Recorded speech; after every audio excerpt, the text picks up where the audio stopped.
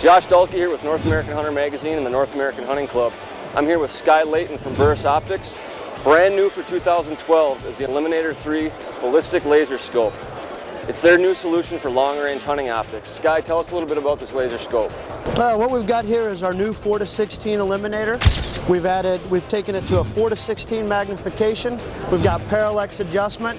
By plugging in your ballistic information, this is going to precisely take you out to 1200 yards. We've increased the strength of the laser with two convenient points for ambidextrous control. Uh, one of the main features that we've added to this model is we've added wind.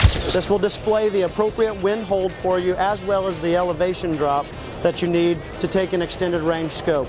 You're plugging in your BC, your velocities, it's taking into account exactly what you're shooting. I think it'll be a fabulous choice. And unlike the other versions that we have, this one will use magnification uh, adjustment. So depending on what magnification you're on, it will give you the appropriate hold and units of wind for any magnification from the 4 to 16 range. It's a fabulous unit. It should be available in July of 2012. Looking forward to it.